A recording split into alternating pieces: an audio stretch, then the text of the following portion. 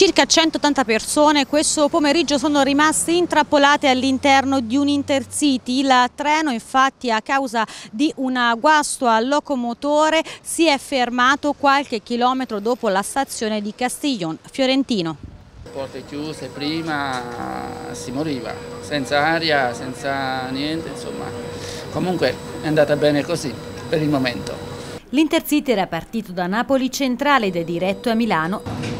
L'unica sofferenza è stato il caldo perché non funzionava l'aria condizionata e quindi siamo scesi anche dal treno. I primi ad intervenire a seguito del guasto sono stati i vigili del fuoco assieme agli agenti della Polizia Municipale di Castiglion Fiorentino. Sul posto anche i carabinieri, i sanitari del 118 e la protezione civile. I passeggeri stremati per il forte caldo sono stati fatti scendere dopo aver aperto le porte. Il nostro intervento è stato un supporto ai passeggeri sia in collaborazione con la Protezione Civile, la Croce Rossa e le misericordie locali per la distribuzione di acqua e sia anche per eh, una valutazione sanitaria di persone che viaggiavano perché erano presenti sia cardiopatici, diabetici e quant'altro.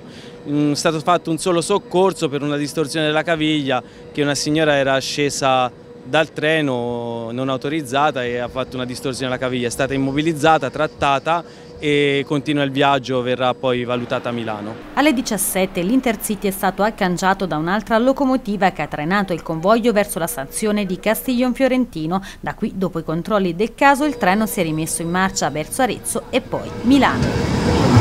In viaggio sul treno anche Ilaria Bidini, Cavaliere della Repubblica e da anni paladina nella lotta al bullismo, di ritorno da Roma assieme a Saverio Tommasi. Ovviamente il traffico lungo la linea ferroviaria aretina ha subito non pochi rallentamenti. Adesso siamo salvi.